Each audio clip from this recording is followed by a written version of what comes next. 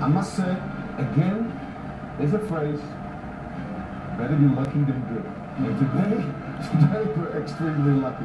Because the goal of know, the own goal, I have to call it an own goal, that changed the whole game. And that's is how football can be, how strange football can be. In Brazil playing with 10 minutes in the last 17 minutes. You see Wesley Sneijder, who has been right at the top of the important players in every match, probably more than anyone else to this point through now.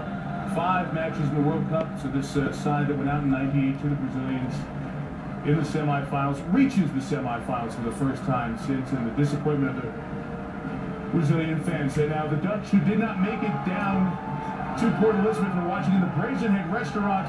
Let's go, man. Let's go. Let's go. oh, I'm so happy.